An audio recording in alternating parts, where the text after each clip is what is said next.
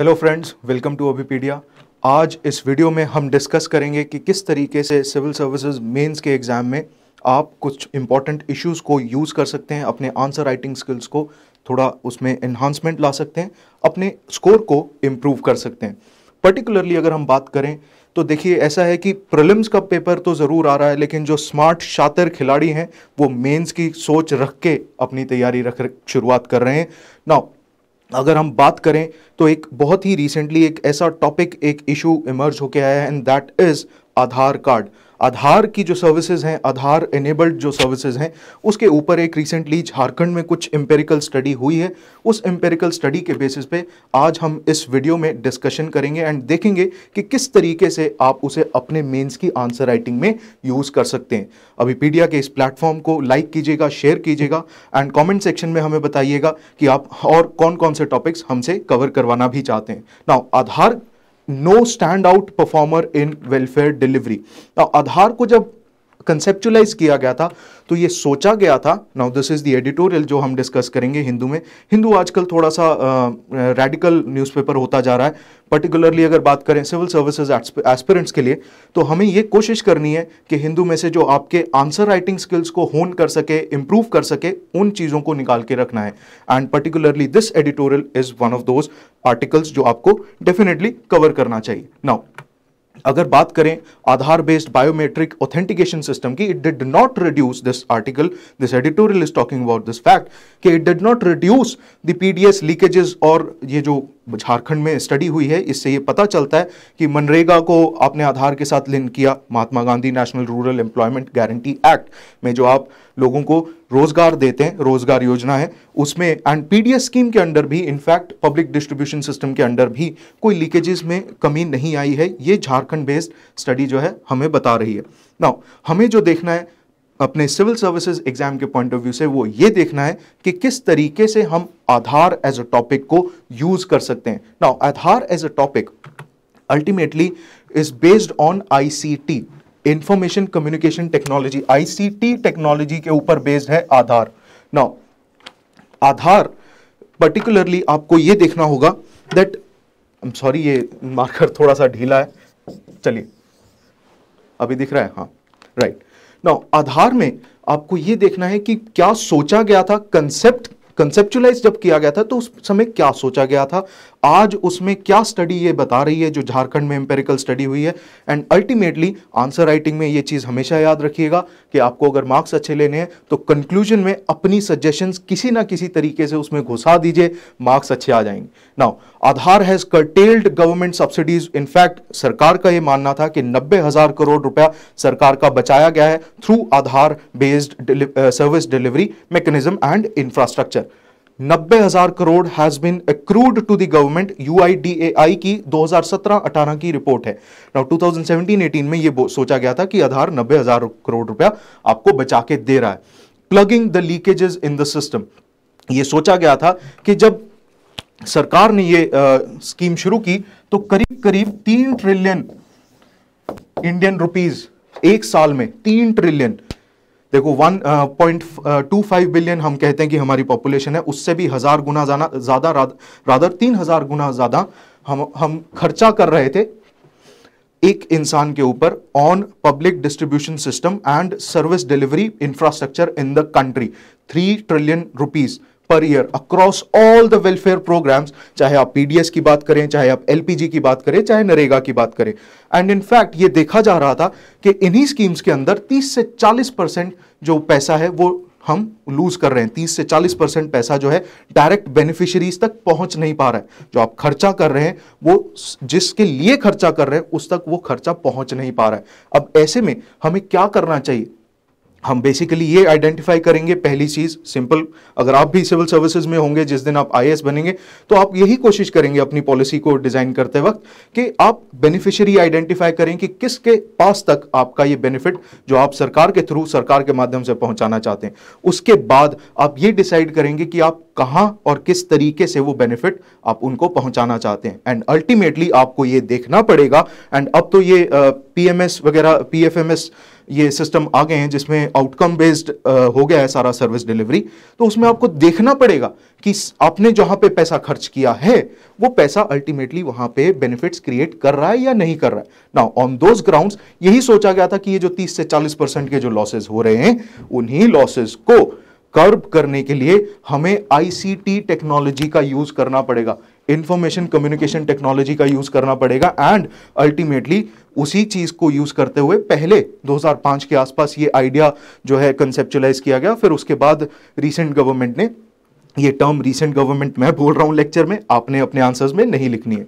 But government ने ये decide किया। पहले 2005 में this was only a service ये शुरुआती दौर पे वॉलेंटरी थी एंड अब अल्टीमेटली इसके थ्रू गवर्नमेंट अपनी सर्विसेज़ को डिलीवर करना शुरू कर रही है। Now this is not the first time के किसी भी दुनिया के देश में ऐसी सर्विस शुरू हुई है। जितने भी स्कैंडिनेवियन कंट्रीज़ हैं स्कैंडिनेवियन कंट्रीज़ मतलब सारी की सारी आपकी डेनमार्क, स्वीडन, फिनलैंड, नॉर्वे, ऐसी सारी कंट्रीज़ जो ह्यूमन डेवलपमेंट इंडेक्स में ऊपर का रैंक लेती हैं, ऊपर का दर्जा लेती हैं, उन कंट्रीज़ में पर्टिकुलरली ऐसी टेक्नोलॉजीज़ बहुत यूज़ होती हैं एंड इनफैक्ट उसी के बेसिस पे आइडेंटिफिकेशन प्रोसेस होता है। सब कुछ ऑनलाइन सिस्टम है एंड उसी ग्राउंड पे इंडिया ने भी सोचा था दैट हम भी कुछ ऐसा लाते हैं जिससे कुछ यू नो हमारे सर्विस डिलीवरी इंफ्रास्ट्रक्चर में एक क्रांति आए, एक रेवोल्यूशन आए। Now Aadhaar was based on those ideas only now ऐसा सोचा गया था apart from thirty to forty percent losses ऐसा भी सोचा गया था कि कुछ ऐसे डुप्लीकेसी है ऐसी डुप्लीसिटी है कुछ ऐसे घोस्ट बेनिफिशरीज हैं जो एग्जिस्ट नहीं करते हैं। फॉर एग्जांपल सलमान खान के नाम पे पीडीएस सिस्टम चल रहा था। ऐसे बहुत सारे कुछ लोग जानवरों के नाम पे भी आ, अपना राशन कार्ड बनवा रहे थे। एंड इंडिया में इस पूरे प्रोसेस में because India was a rural economy India शुरू से ही एंड इनफैक्ट आज भी अगर आज भी आप जैसे इकोनॉमिक डेवलपमेंट uh, की बात करें तो आपको रूरल इकोनॉमी को इम्पीटस देना होगा। ये पीछे बहुत टाइम से इकोनॉमिक सर्वे में बहुत टाइम से बजट के डिस्कशन में ये बातें चलती आ रही हैं। आप इस बात से अनभिज्ञ नहीं भी होंगे।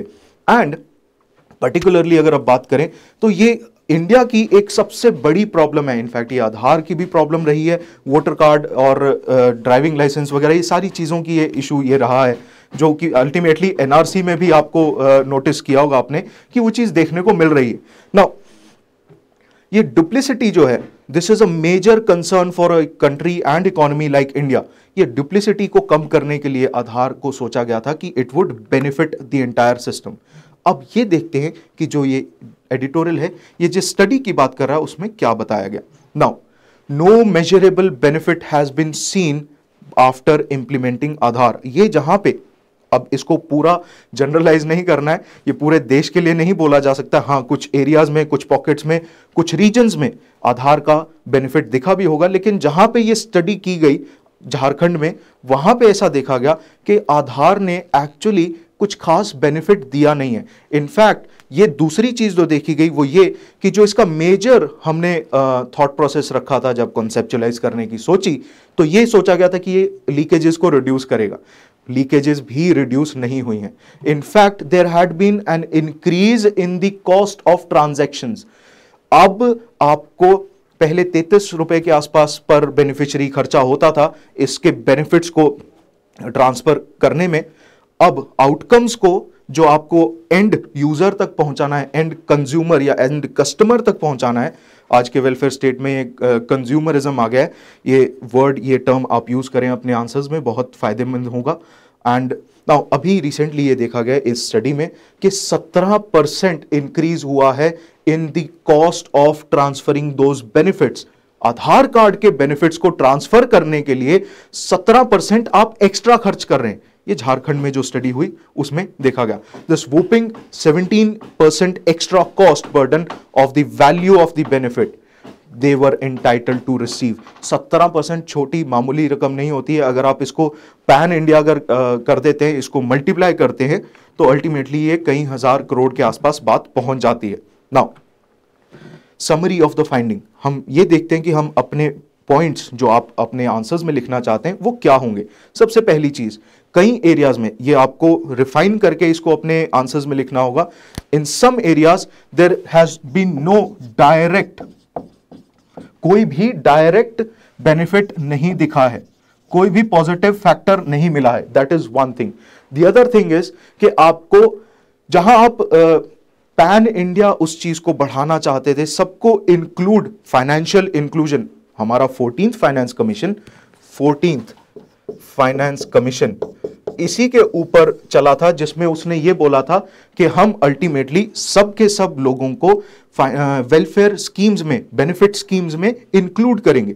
वो हम जो all India pan India inclusion की बात कर रहे थे फाइनेंशियल इंक्लूजन की जिसके ऊपर भी आधार बेस्ड था। एंड उसी के बेसिस पे आप कह सकते हैं कि डीमोनेटाइजेशन का सो uh, कॉल्ड फ़ायदा जो हुआ वो ये हुआ था कि सारे के सारे लोग डिजिटल इकोनॉमी का हिस्सा बनने लगे थे।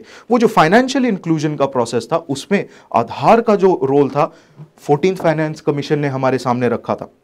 नाउ ये सोचा गया था that it will enhance the outcomes as well as it will enhance the outreach outcomes and outreach now अब ये आउटरीच बढ़ाने का मतलब ये है कि इसको टारगेटेड बेनिफिशरीज तक ज़्यादा पहुँचना चाहिए था। लेकिन ये देखा गया इस स्टडी में झारखंड के अंदर के it denied ration to ten percent of genuine beneficiaries ये चीज़ हुई। दूसरा, सत्रह परसेंट कॉस्ट बढ़ गई कुछ एरियाज़ में, जैसे झारखंड में जहाँ पे स्टडी हुई। एंड अल्टीमेटली ये कहा जाता है कि no pain no gain but no pain no gain नहीं हुआ। पेन विद नो गेन हुआ। They include that Aadhaar authentication for PDS in Jharkhand cause some pain with no gain ultimately यही conclusion निकाली जा सकती है कि यहाँ पे झारखंड में, जहाँ पे पीडीएस सिस्टम में आपने आधार को लिंक किया वो अल्टीमेटली उसने कुछ खास फ़ायदा नहीं दिया इनफैक्ट नुकसान ज़्यादा किया। Now what premise were wrong about Aadhaar सबसे पहली चीज़, जब आध, कोई भी स्कीम कोई भी प्रोजेक्ट आप कोई भी you know service delivery mechanism शुरू करते हैं फॉर एग्ज़ाम्पल हम आ, कोई भी नया काम शुरू करते हैं तो सबसे पहले थोड़ा उस चीज़ को करते हैं। कोई भी आपके घर में खाना बनता है तो आप थोड़ा सा चाहे भोग लगा के चाहे वैसे आप कुछ खा के देखते हैं कि उसमें नमक मिर्च सब ठीक है या नहीं है। तो वही टेस्टिंग आधार की नहीं हुई। आधार की टेस्टिंग एम्पेरिकल स्टडी होना बहुत ज़रूरी था वो हुआ नहीं। कि वो किस तरीके से डुप्लिसिटी को कम कर सकता है वो नहीं देखा।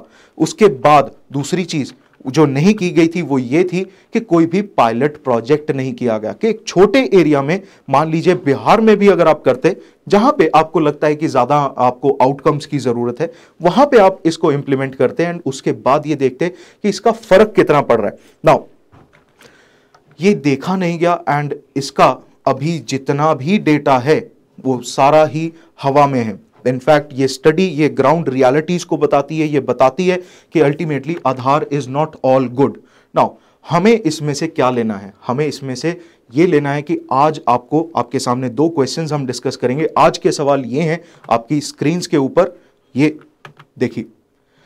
जो इंपॉर्टेंट क्वेश्चंस हैं जो आपके मीन्स के पर्सपेक्टिव से very important from this entire episode number one, India's social sector policies are marred by leakages and duplicity.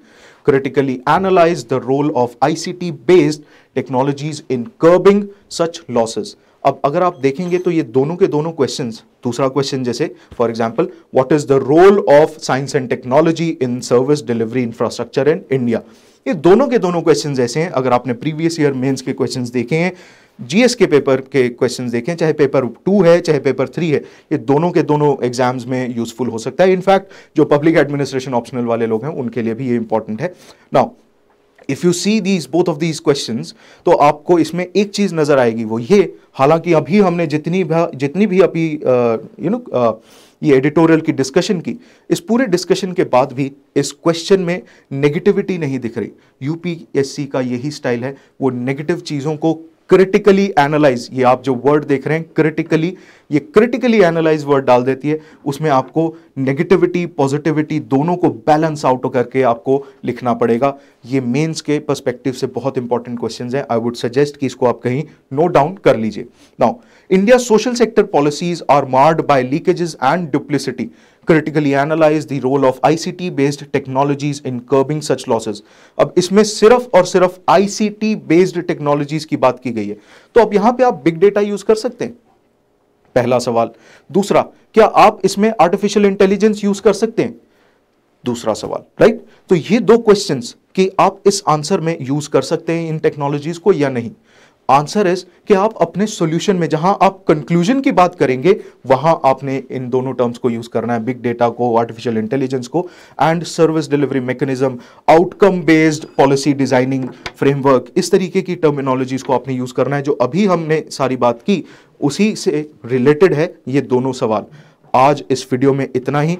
हम फिर मिलते रहेंगे इंपॉर्टेंट इश्यूज़ को डिस्कस करते रहेंगे। आधार से रिलेटेड आपको ये जो इंफॉर्मेशन है, आपको जो सामने आपके इस कंप्यूटर स्क्रीन के ऊपर मोबाइल फ़ोन स्क्रीन के ऊपर जो ये क्वेश्चन दिख रहे हैं these are the question which are very important इन्हीं की आंसर राइटिंग प्रैक्टिस करते रहिए। आंसर राइटिंग प्रैक्टिस ही अल्टीमेटली आपको मेंस में अच्छे मार्क्स दिलाती है। आज इस वीडियो में इतना ही। अभिपीडिया को देखने के लिए बहुत बहुत शुक्रिया। मुझे सुनने के लिए थैंक यू बाय